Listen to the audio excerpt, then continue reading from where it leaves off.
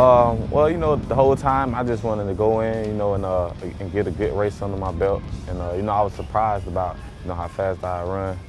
But, uh, I mean, I still see uh, a place for improvement. So, you know, I'm just come for practice this week and try to get a little better. Okay, well, New York was a really exciting trip for us because it was the first time we've done the DMR like properly in a while and definitely the first um, travelling group, the smallest travelling group we've taken this year. So New York was really exciting, just having the five of us go up there. Um, but it was a really good event. We'll definitely do it in future years because it's such a good competition and going there and just, you know, putting our best foot forward was what we really did and having um, us all do kind of a weird event. Like I did the 1200, Shelby did the 800, Corey was the only one really doing her event and Ebony doing the 400. Um, we didn't really know what to expect, but we definitely came up with the best outcome we were um, hoping for, and it did hopefully get us close to going to nationals. We may have to run it again, but it definitely was a positive um, outcome for all of us, and we all actually did PRs, I think, for all the chosen events. I think it is tough being away from like the other half of our team, but it definitely brought um, a few of us girls closer just with having to race in a team together. Like we did all have cross country together and racing for the same sort of outcome. However, the DMR is different because you know you're racing at separate times, you're doing different events, you're going through different stages of the race. So um, it really was a really good atmosphere for us four going up there. And I think it did bring us all a lot closer just in the sense that we were in it together. We came out with a great race, a great result, and we look forward to the next time we get to all compete together.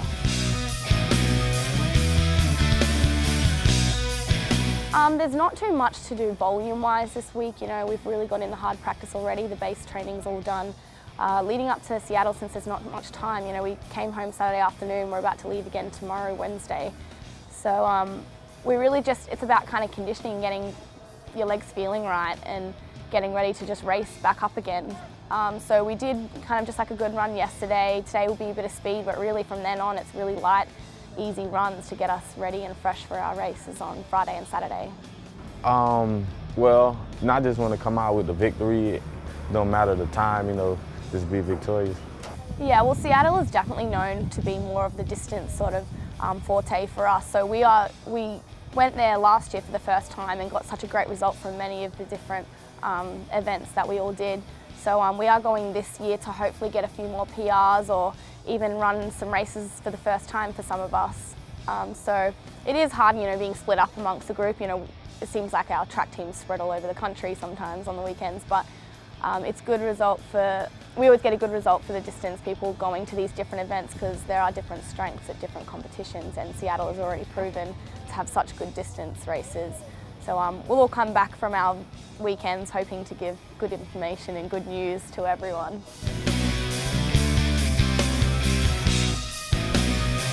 Um, it was kind of frustrating at first, you know, uh, you know, I had an injury, kind of set me back. But, uh, you know, coach allowed me to travel with the team and, you know, watching them compete, you know, kind of got me motivated, you know, to come out and compete as well. Uh, well, my goal personally, you know, to uh, repeat as a national champion and for the team, you know, to also repeat as a national champion.